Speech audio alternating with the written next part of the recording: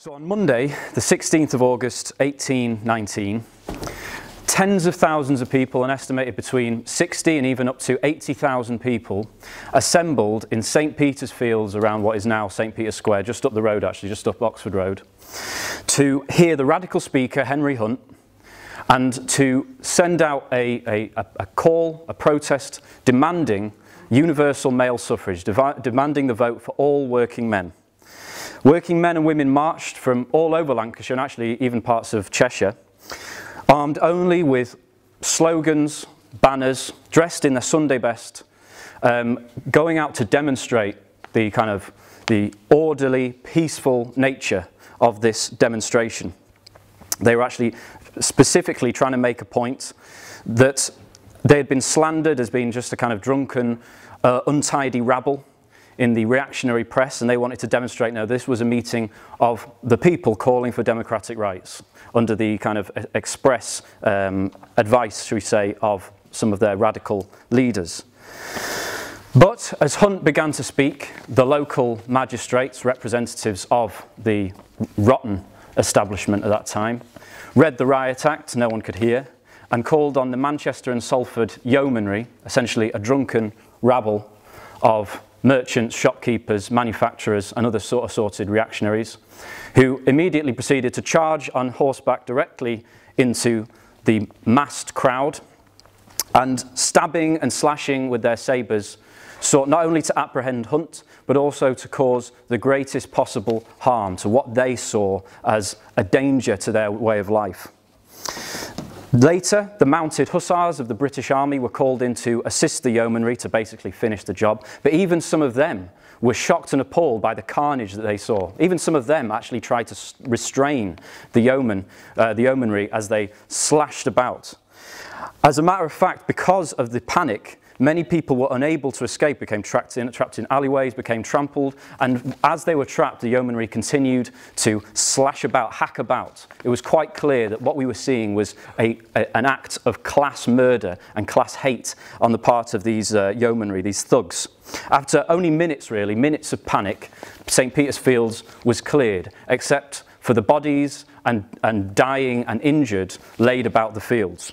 By the end of that one I hesitate to say battle, massacre, 11 people, including a two-year-old child, were killed.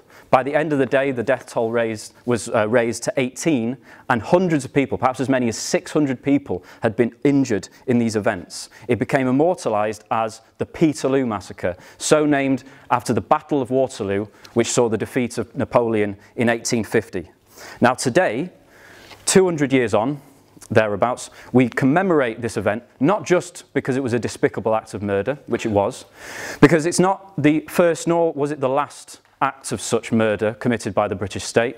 Not that much, uh, a uh, hundred years ago in Amritsar, you saw an even more despicable ma massacre. In 1972, you may have seen in the news, the Bloody Sunday massacre was carried out again by British forces. It's not simply that we commemorate this horrendous act of murder, it's also that this event marks a, a, a, watershed, if you like, or a turning, a very important turning point in the history of the class struggle in Britain. It, it marks the beginning of a process of organisation, of political consciousness, and of struggle on the part of the working class, a new class in society at that time, perhaps before anywhere else, which began a process which culminated in things like the revolutionary Chartist movement, which had a direct influence on the ideas of Marx and Engels and on our ideas today, and also led to the creation of the Labour Party, the political wing of the workers' movement in this country. So it's, it's on this aspect of Peterloo that I also want to dwell because it still to this day contains many important lessons for us. Not least because we, as British Marxists, actually sometimes um, neglect this period in history. Uh, not, not least because in our own country, our own ruling class has sought to kill it with silence. I don't remember le learning anything remotely about this entire period at school. So it's time we educate ourselves on the revolutionary lessons of Peterloo. So I'll jump right into it. I don't think we can understand Peterloo without also looking at its historical context. And the broader context, which I don't have time to go into detail uh, on, but it's important to know, is one of the proletarianiz proletarianization of the English and British masses.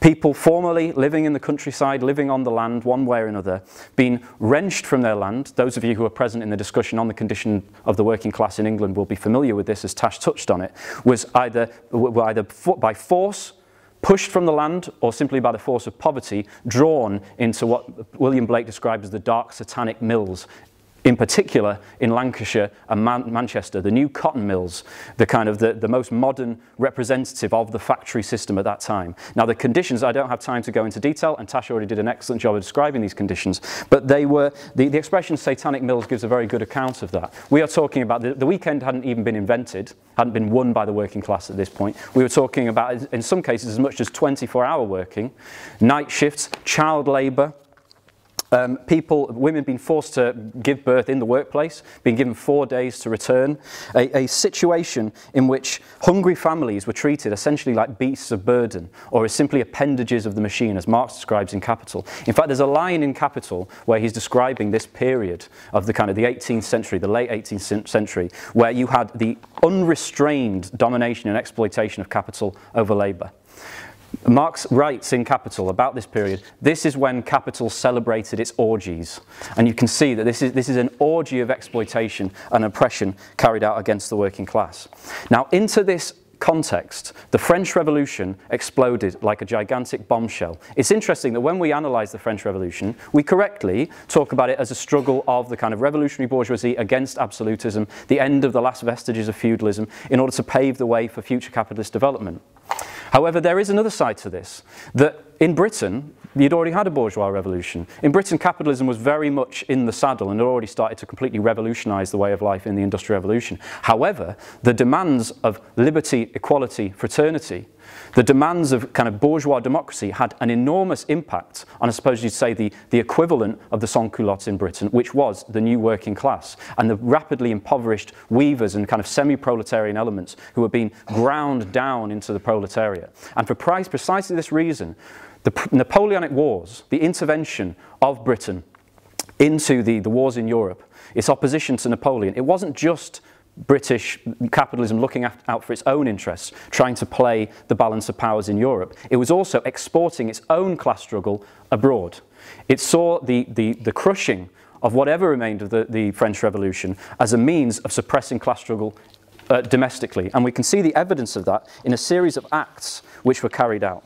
This is one interesting thing when we talk about bourgeois democracy. When the bourgeoisie have actually achieved political power, it's not necessarily in their interest to extend it. And today, when you know, uh, liberals and even Tories talk about English liberty and things like that, the natural constitutionalism and democracy of the British people, we, we don't need to look that far back to see not a trace of that for British workers, for British men and women who were actually producing the wealth of Britain at that time. Some of the acts um, carried out by the government in the 1790s in response to the panic caused by the events in France.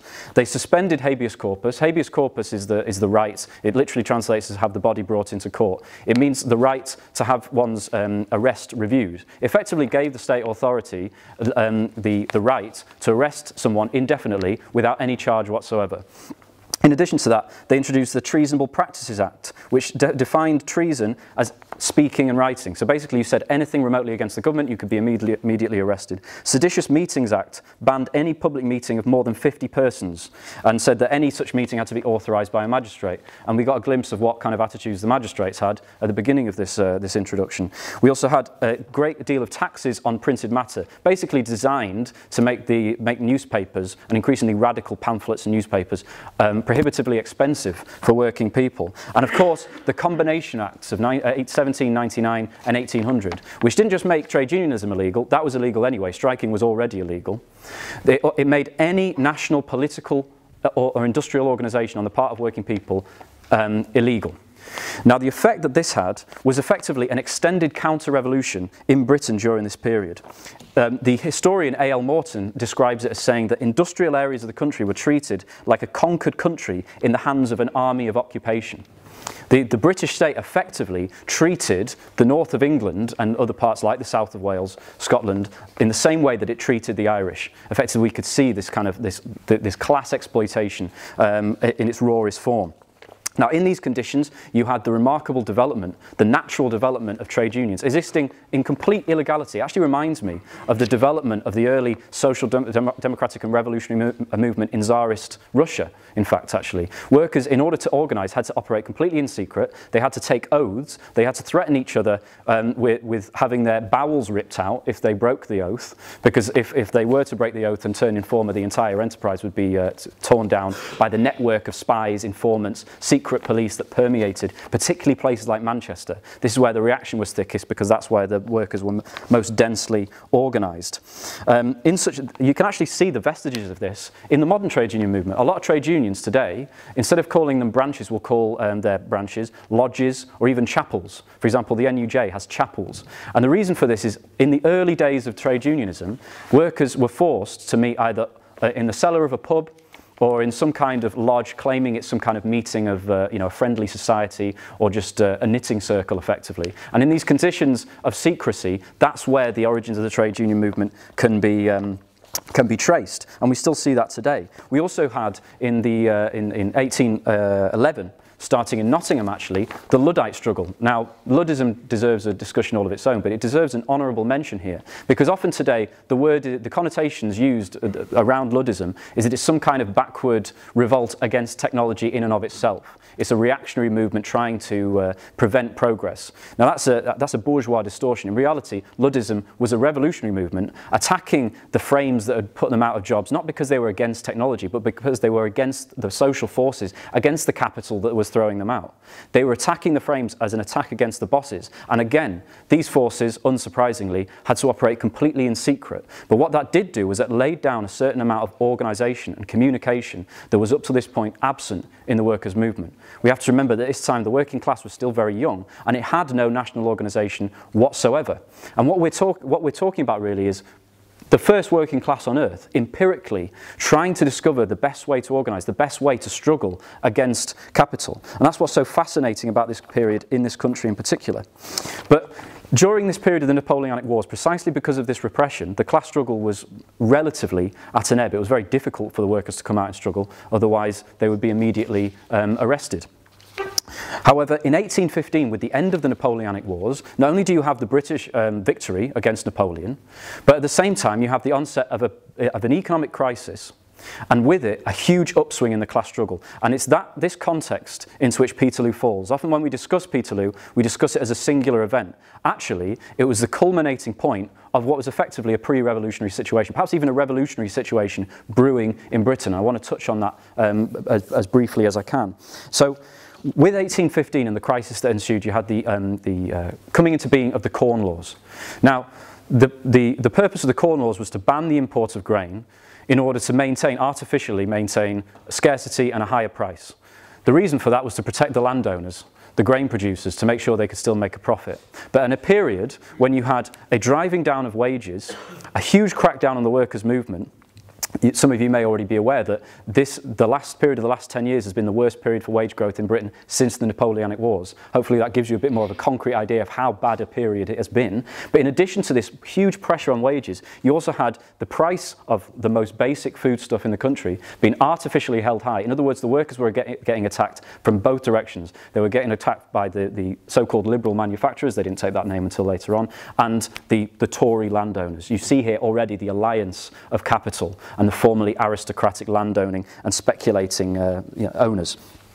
This was, these laws were passed in a parliament which the, the, the idea that this parliament could be described as democratic is utterly laughable. This was a, a situation in which um, less than 3% of the population had the vote. You had to be a wealth, not just a landowner, but a wealthy landowner in order to elect someone to parliament. And you had a system of effectively what they were called rotten boroughs. So huge, relatively speaking, industrial towns that had grown up in the Industrial Revolution, places like Sheffield, Leeds, Birmingham, Manchester, didn't have a single member of parliament. Meanwhile, a place called um, Old Sarum in Wiltshire, I've never been, it must be nice, they elected two MPs and had a population of one. How they managed that, I'm not entirely sure. But this was the state of English liberty and the mother of parliaments. What's ironic, I don't have time to go into this, but what's ironic is in 1789, the French revolutionaries actually saw the British Parliament as their model. I don't think they fully understood what they were looking at. Of course, they went far, far beyond it, which is what made those ideas so dangerous. Um, so in this situation, you have a completely undemocratic, what you have effectively is the dictatorship of capital, undisguised, lording over the workers and trying to crush, squeeze out of them as much surplus value as possible, the true naked face of capitalism. And the workers coming up against this grasped some of the democratic demands of the French Revolution, uh, also which had become very, uh, very popular sorry, in Britain through the work of Thomas Paine, The Rights of Man.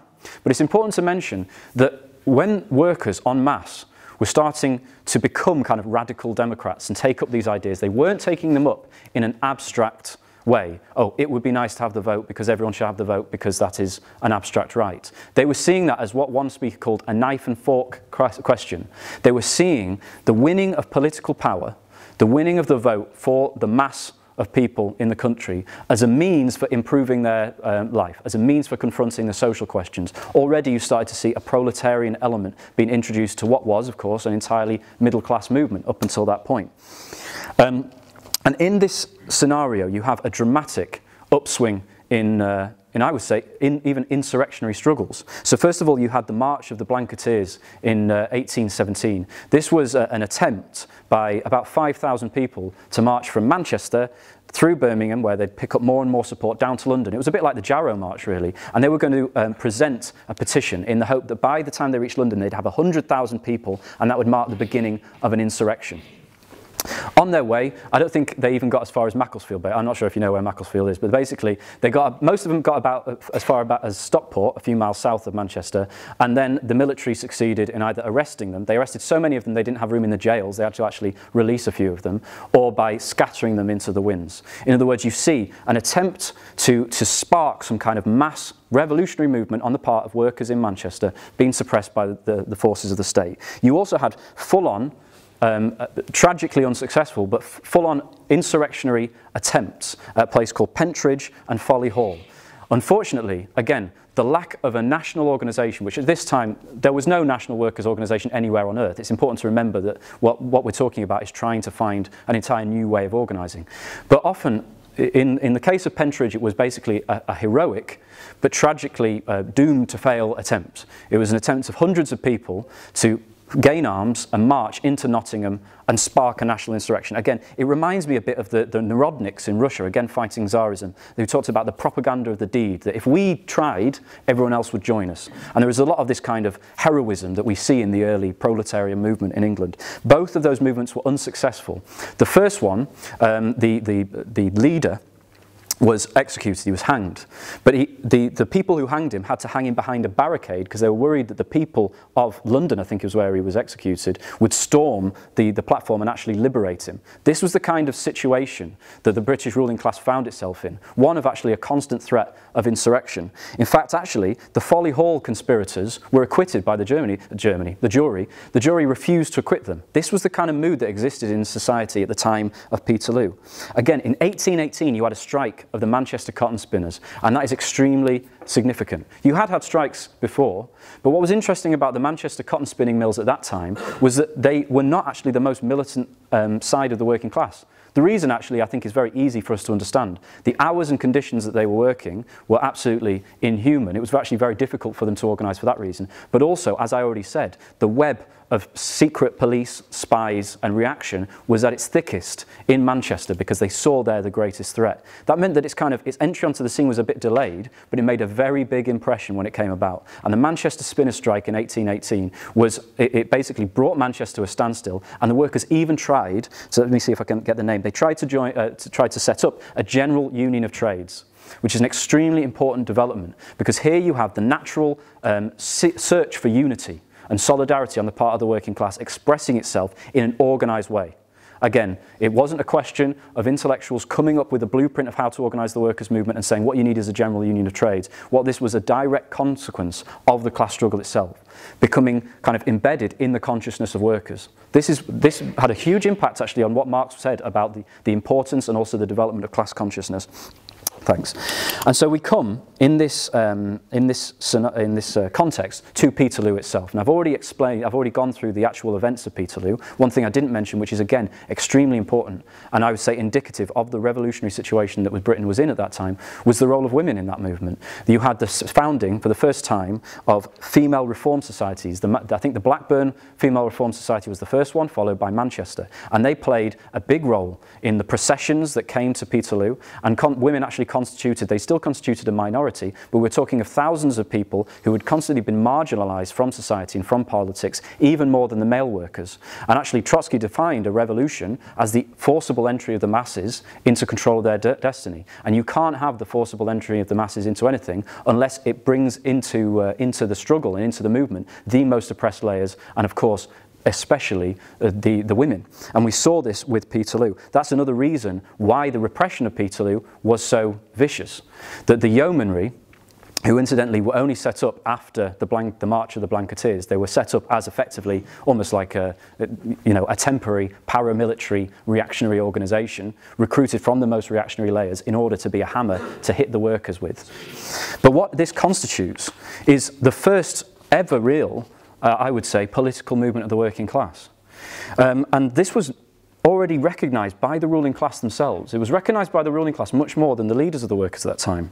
Because you might think, living today where we have universal suffrage, for what it's worth, that this is something the bourgeoisie could afford, uh, afford to give to the workers. It wouldn't necessarily threaten their uh, rule. But this is not how they felt at the time, because they understood that the conditions of the workers were such that, to quote um, Lord Eldon at the time, he said, I believe universal suffrage would be fatal to all purposes for which government exists and for which aristocracies and all other things exist, and that is utterly incompatible with the very existence of civilization.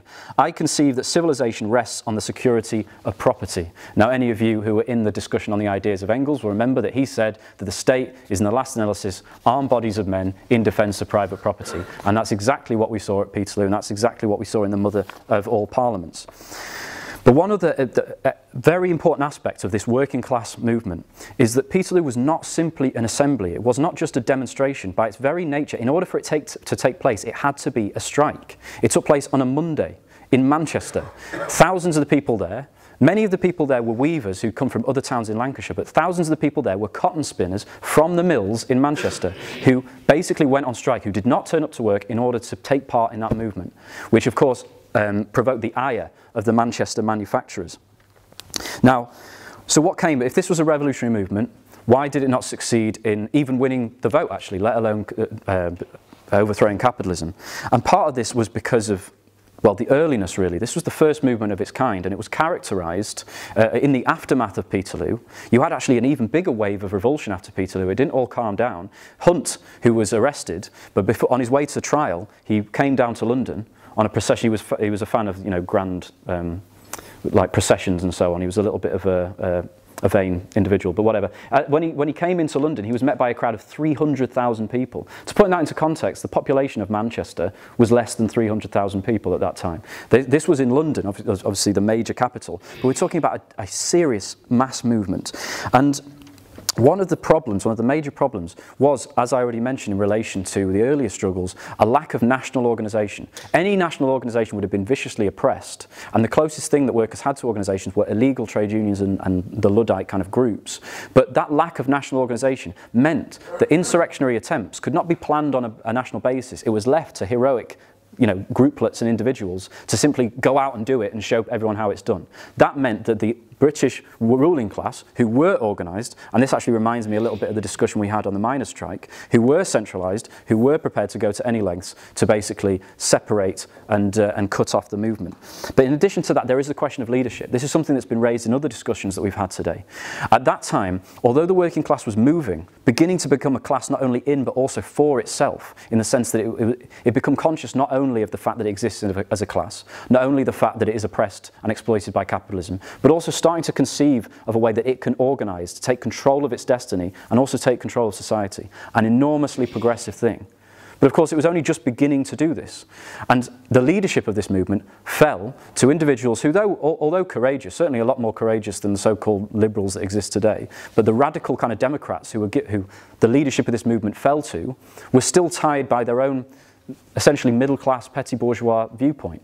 P individuals like Henry Hunt and William Cobbett, who um, kind of sustain themselves in their kind of careers on selling things like Henry Hunt came up with a special drink made out of corn so you could avoid uh, taxes on things like coffee. They were effectively businessmen. I don't think they were corrupt, but the nature of the movement was so kind of young basically and amorphous that these individuals were not capable of expressing, of, of effectively leading this movement. They often kind of fell into squabbles individually between themselves. You had a serious problem of prestige politics. And so this gigantic opportunity, which sadly, I, I suppose we can say with you know 2020 um, historical hindsight, was was left to wither on the vine. And you saw after that the, um, the, the attempts, the kind of desperate, heroic but again tragically misguided attempts of the Cato Street conspiracy. Again, a tiny group of individuals who thought that if they succeeded in trapping and effectively assassinating the entire cabinet, that the country would rise up. Unfortunately, the Cato Street venue where they thought the cabinet were going to dinner was itself a lie put in the press in order to draw them out because they already had a spy in their ranks. And so they were easily arrested, executed, and with that, this, this revolutionary phase in the class struggle draws temporarily to a close. The state, in response to things like Peterloo and Cato Street, um, implemented the infamous Six Acts, which included, again, suspending a habeas corpus. That was in uh, 1817, apologies. Um, but then in 1819, they prohibited all kinds of drilling. Something I forgot to mention was prior to Peterloo, many of the workers actually practiced marching in formation, drilling, not with weapons but with effectively sticks, um, out on the moors. Um, as a form of organisation, they, they said it was to show that they were not just a mob but an orderly kind of organised movement.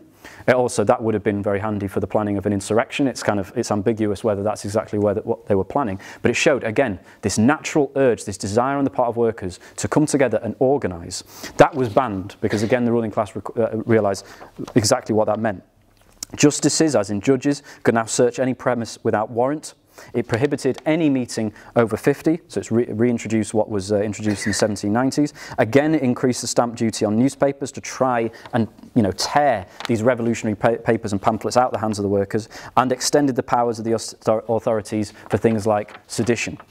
Now, it, the historian E.P. Thompson describes this period as the most sustained wave of prosecutions in the whole of British history. In other words, once the insurrectionary movement had died down a little bit, had failed, the kind of most radical elements had desperately thrown themselves at the authorities effectively, in this kind of propaganda of a deed, uh, of the deed, sorry, the state then unleashed a complete a wave of arrests and prosecutions to try and put a lid on it.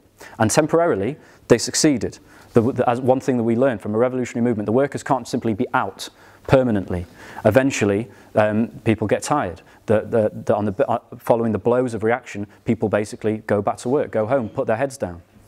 But one thing we've seen, now the analogy, you might have encountered this analogy elsewhere, the, the working class is a bit like the, the character in the Greek myth Antaeus, who fought Hercules, and every time he was thrown down to the earth by Hercules, he got up even stronger because he took his strength from his mother, the earth. And the working class is a bit like that. The capitalism, as of necessity, creates and reproduces the working class, makes it bigger and, and bigger. It forces it by its exploitation to organise. It pushes it in a revolutionary direction. But every time it succeeds in smashing it back down to the ground, like we saw in Peterloo, using the most vile and reactionary, violent methods, the working class will come back even stronger. And we see this come back in, in, full flush in the Chartist movement, the heroic revolutionary Chartist movement um, of uh, 1930 six, kind of its earliest beginnings, up to 1848, sorry, 1836 to 1848. Now, again, internationalism and the effect of revolutionary events elsewhere comes into it. In 1830, there was a revolution in France, another revolution, they're quite good at having those, where they got rid of the, uh, the, um, the Orleanist, no, sorry, the Bourbon monarchy that had been restored after the defeat of Napoleon at Waterloo. That again, another political movement, overthrowing tyranny, overthrowing the uh, monarchy, had a, it kind of had the effect of reigniting the class struggle and the political struggle in Britain. And it's important to mention that in that so-called quiet period in the 20s, it wasn't it's not that the class struggle simply ceased, it was that it was again driven underground and driven in a more industrial um, direction. I read a quote from a, a worker in uh, Oldham, I think, who, who was um, recorded as saying, when all's quiet, that's when the seeds are growing. And you could see that happening in the British Labour movement because when it came back in the form of Chartism, swung back in a political direction, we saw it in kind of in, in its full might, really. Now, already, again, um, in 1831, you had the beginning of a revolutionary situation in Britain, one that we're not told about, but one that was revolutionary in every sense. You actually had in Merthyr Tydfil, you if that's pronounced correctly, apologies to any Welsh comrades, you had the red flag being raised. And actually, the red flag had not been a symbol of the working class in Britain until that point. They took it directly from the French Revolution. Thank you. You see the red flag being raised, you have a crowd of 10,000 people being confronted by soldiers and 80 people being shot dead. In other words, we're talking about pitched battles as early as 1831. You have strikes breaking out in Durham, which were broken up by the cavalry. Again, anyone who was present in the discussion on the miners' strike will be very familiar with those kind of scenes. The difference is these cavalry weren't wielding truncheons, they were wielding sabres. Um, Engels actually, at this point, Engels later on, I think in his book on the condition of the working class in England, says that strikes for this reason, they're schools of war for the working class. They're actually testing the organisation and the fighting units effectively of the workers against the forces put up against them by the, uh, by the ruling class. It was not a metaphor, we are literally talking about class war here. Now, um, E.P. Thompson again says, and I think he's correct, that in many ways 1819 in Peterloo was a rehearsal for the struggles of 1831. It was a kind of 1831 in many respects was simply a repetition of what we'd seen in 1818, 1819, but on a much larger scale, having crucially learned some of the lessons. And what we have in 1832 is a panicked ruling class delivering the so-called Great Reform Act, um, giving the vote to still a small minority of the population as a means of trying to head off this movement, grant just a tiny piece of reform but at the same time not give the workers anything at all. And that became known as the Great Betrayal, because what it effectively did was it gave only landowners with land worth £10, an annual value of £10, the right to vote.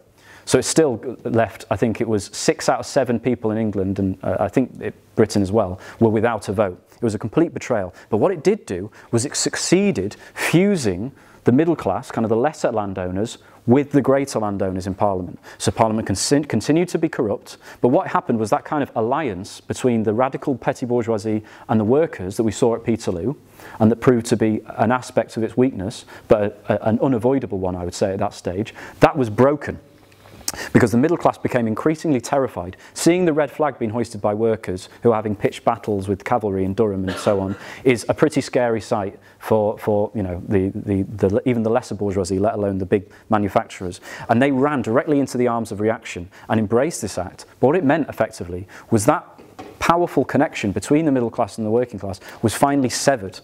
And it's from this gives us the context from which Chartism was born.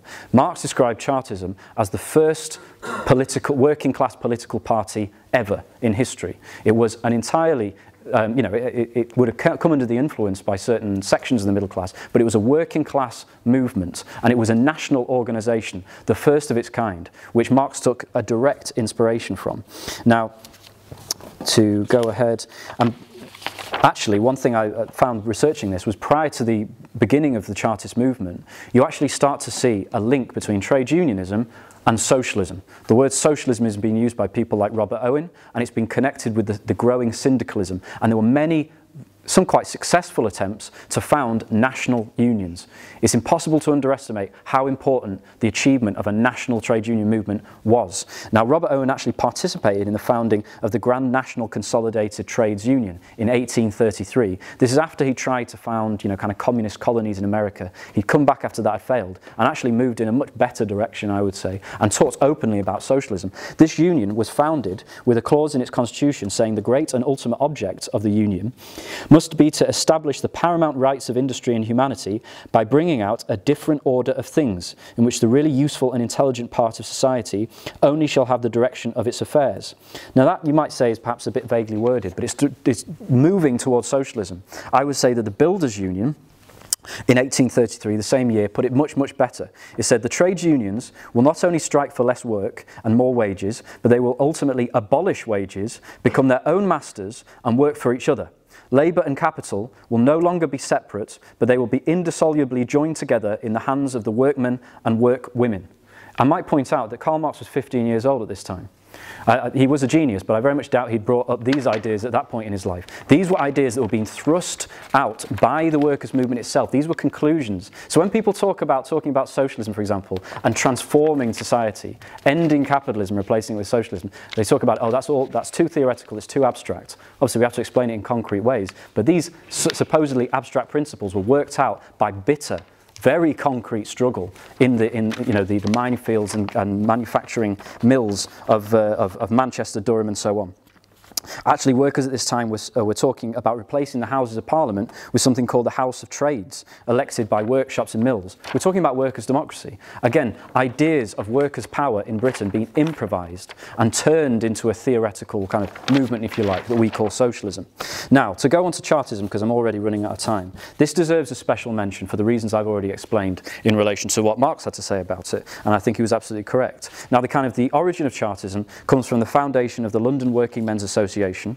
You might, those of you who are familiar with the history of the First International might notice a similar ring to the International Working Men's Association. That was founded in June 1836 and along with some kind of bourgeois radicals like Francis Place drew up something called the People's Charter.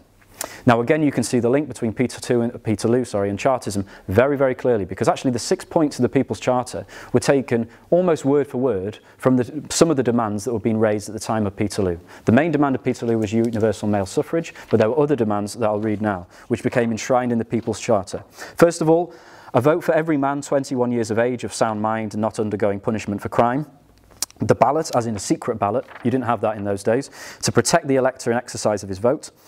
No property qualification for members of parliament, enabling constituencies to return the man of their choice, be he rich or poor. The payment of members, thus enabling an honest tradesman, working man or other person to serve the constituency. It's quite ironic looking at that now when you see the, uh, the fat salaries of MPs and the rampant corruption, but that, it wasn't meant to achieve that. Equal constituencies, securing the same amount of representation for the same number of electors, instead of the rotten boroughs that I told you about. And annual parliaments, which is a very interesting demand, presenting the most effectual check to bribery and intimidation. And uh, it states that since members, when elected for a year only, would not be able to defy and betray their constituents as now. As we can see, nothing's changed. And that continue, that one annual Parliament's demand is the one demand that has yet to be granted by British bourgeois democracy, and of course never will be, unless and until the workers take power. So the, the Chartists, on the basis of this um, petition, went around, uh, first of all, they turned this charter into a petition, went around the country, get, physically getting signatures on this petition, and assembled and what did they call their assembly when they met in London? They called it a convention. They took that word directly from the French Revolution and the Jacobin Convention of 1793, the most radical part, the most radical period and force in the whole of the French Revolution. They were very, very much taking their lead from Jacobinism, Jacobinism, but perhaps they didn't realise they'd gone much, much further than that because of its proletarian content. Now, the petition managed to get over 1 million and uh, over 1,200,000, I think it was 1,200,008, sorry, 1,280,000 signatures, which considering the population of, of Britain at that time is an immense amount. They presented it to Parliament, and Kelsey it was voted down, not unanimously, it was voted down overwhelmingly by 235 votes to 46 votes, because of course the MPs in the, uh, in, in the, in the Houses of Parliament realised what it would mean giving universal suffrage to the working men of places like Manchester would basically be inviting them to take power. They saw it exactly for what it was. Um, now, at this time, the, the rejection of the, um, the petition had an interesting effect. Within Chartism, and actually within the kind of Peterloo movement, if you can call it, if you can put it all under the umbrella of Peterloo, within the workers' movement really, for as long as it's existed in Britain, you have had kind of two broad wings. At the time of Chartism, it was called the moral force and the physical force. The moral force men were people who said that the, that the only kind of uh, methods that should be used was to apply the force of argument, of reason, of public opinion, of that kind of pressure, moral pressure, on the government to grant reforms. The physical force men were the ones who said we should go further, we should go further to insurrection. And there was kind of a, if you like, a bit of an awkward balance between these two wings in the Chartist movement, which was summed up in the slogan, peaceably if we may, forcibly if we must. And the kind of peaceably if we may and forcibly if we must would kind of uh, balance depending on events. The rejection of the petition gave a bit more force to the physical force men. And as a result, they started openly talking about a, a general strike. Not just a general strike which would bring Manchester to a standstill or London to a standstill, but a national general strike which they called, called a sacred month or national holiday. That, uh, if a month-long general strike in those conditions would probably have been the end of the regime. Whether it had been the end of British capitalism or not is obviously speculation. Unfortunately, the leadership of the Chartist movement at that point um, abandoned the plan for a sacred month. They didn't think they could pull it off. Now, I would say they were proved long, wrong later in 1842 when you had the plug plot general strike, which emerged spontaneously effectively. It was called the plug plot because the workers in the factories would literally pull out the plugs of the steam boilers, obviously it was steam powered at this time, thus making the engines impossible to run, and so bringing work to a close. And they'd then take the plug and walk down to the next mill and do exactly the same thing. That's why it became called the plug plot. This spread not just to, in, in Lancashire, but to other parts of the north, Yorkshire, South Wales, Scotland. It became a truly national general strike, the first one in history, certainly the first one that I'm aware of, and it emerged effectively spontaneously. Now, it, I don't think it would have even emerged spontaneously if it wasn't for the kind of the first skeleton of national organisation that the Chartist movement had given to the workers. But this was a movement that had, had, had arisen effectively spontaneously from the base and required further leadership. Um, following the, the, the, the, defeat of the strike, sadly, um, there was a uh, actually, sorry, before the defeat of the strike, there was an insurrectionary attempt in Newport, which I should have mentioned earlier, apologies. In 1839, a Chartist leader, John Frost, in response to the arrest of a, another Chartist leader, Henry Vincent, assembled, um, I think as many, yes, 20,000 men coal miners from the pits of South Wales, armed them, some with guns, some with pikes, some with just the, the, tools of the trade, and tried to break him out of the prison. They were met by riflemen of the, the British Army, and they were, they were defeated. About 30 of them were shot on the spot. The rest, um, who didn't succeed in fleeing away, uh, getting away, were arrested and eventually hanged. Again, we see, we see the heroism, but it's a sort of tragic heroism of this movement that you, currently you see people who are far-sighted enough to realise that the only way you can overthrow overthrow this tyrannical capitalist regime is through insurrection. But this is what led Marx to explain that insurrection is an art. It can't be something that can simply be um, summoned up or played at. And if the, the strike movement, which emerged in 1842, had been combined with an organised insurrectionary movement, then that movement may well have been successful. The problem is the, the organised planning for the Sacred Month had been abandoned. The plug plot arised without anyone actually expecting it to arise, and so these kind of these revolutionaries thought, well, this is our last chance. This is just like 1819. We've got to go for it now or we're going to lose it. And unfortunately, the Newport Rising was not really matched with other insurrections elsewhere in the country. Again, partly due to the lack of communication that you get at that time in history. Obviously, they didn't have mobile phones, but also that lack of an organisation that was only just starting to develop. But we still, I think we need to emphasise the heroism that we see in these, these kind of heroic years of the English proletariat, the British proletariat, because it's something that's often completely masked when uh, even the leaders of the labour movement talk about it. You have the plug plot in 1842, which was a direct response to the rejection of the second petition What's interesting about the second petition is not just that they claimed it got 3 million signatures on it, that they had to try and dis disassemble or disassemble. They had to try and take down the doors of the Houses of Parliament to get the petition physically into the building. It was that big. Not just the size of it was impressive, but it started to contain proletarian social demands. It didn't just call for the vote. It didn't just call for the six things I've read out just now. It called for things like complete religious and political reform, another political demand, the 10-hour day, which is an entirely proletarian social demand, and home rule for Ireland. Again, emphasizing this, this link between the struggle of the Irish with the English proletariat, something again that Marx drew out explicitly. Um, and, and also the natural internationalism, which is again obscured when we talk about the history of the class struggle in Britain. Often that internationalist element that we see with the relationship to France, that we see with the relationship to Ireland, is ignored. Now this immense mass movement did not achieve universal suffrage, as we know. Universal suffrage for all men wasn't achieved until 1918, the same time that universal suffrage for property owning women was achieved. But what it did do was it terrified the, the ruling class into starting to try and grant reforms. After the abolition of the, uh, after the repeal, sorry, the Corn Laws, we entered into this period of, of British dominance, basically. And out of these kind of fat super profits that British capitalism and British imperialism were starting to draw, they started to grant concessions to the workers on the basis of their terror that if they were, try, if they were to try and act like they did in Peterloo again, then they would really lose everything. And so we start to see this, this period in British history. We see the 10 Hour Act being brought in in 1847, a serious victory for the working class, won directly from Chartism and revolutionary methods. This, again, don't have time to go into it, but this, this shows this, this link, this important link that we have between reform and revolution. The reason that we, as Marxists, criticise reformists is not because they believe in reforms, it's because they don't carry out reforms. And actually, what we see, not just from this period, but actually other periods in history, that only when the working class is organised to actually take control of the wealth of society society, to expropriate the ruling class, that's when they're prepared to make all sorts of concessions, and it's something we should bear in mind. Now, actually, Marx and Engels had personal content, uh, contact sorry, with leading Chartists. They, they, they felt that Ernest Jones, who they considered to be the most outstanding representative of Chartism, they actually took a lot from him.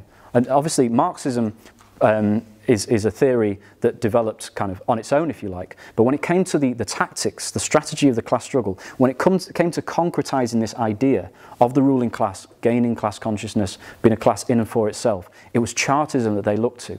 And we can't kind of underemphasize, in my opinion, the importance of actually analysing, seeing concrete living movements of workers and drawing theoretical lessons from that, not the other way around. That was precisely, the former was precisely Marx's method.